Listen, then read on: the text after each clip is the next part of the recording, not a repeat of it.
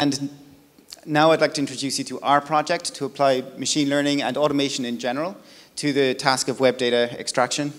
We started this project a few years ago, but we're just at our first major milestone, which is a general public um, release of our model of our extraction capability for articles and products. And I'd like to welcome Bryan O'Brien on stage to demo and talk about it. Thanks, Sam.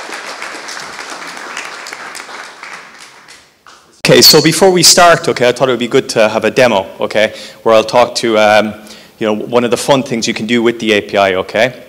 So for you, for those of you who are not rugby fans, okay, the Rugby World Cup, okay, starts next week. It's in Japan, and for the first time ever, Ireland uh, is ranked the number one team, okay. So I, so I thought it would be fun to, you know, pull out a bunch of uh, URLs from August, okay, news URLs, to see which country is getting the most mentions, okay. Um, so I took a million news URLs, I passed them through the API, okay, and what I found was uh, approximately uh, 10,000 of those URLs uh, had, uh, after filtering through them, okay, had what I would qualify as uh, rugby uh, news, okay. And of course the question is, okay, which country has the most mentions? And sure you all know now, I'm sure. so that didn't really work, okay. but maybe I'll ask you, okay, which country has the second most mentions? Guess? New Zealand, yeah, it's a good guess. Okay, okay. Which is the uh, third most mentioned? Since it's a trick question, because it's a tie. So Australia and Ireland. Okay. So and which has the uh, least mentions? Which was a surprise to me.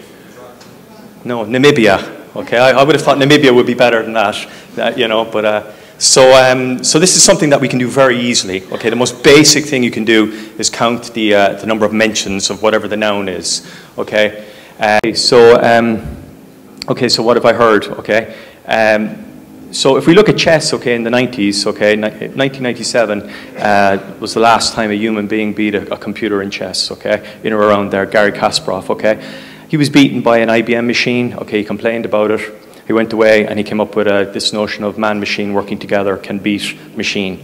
Okay, and that was true up until pretty much recently, okay? And then came along another uh, technology, machine learning technology this time, and it beat the, uh, the, the, chess, um, the chess engine, the top chess engine, using machine learning technology.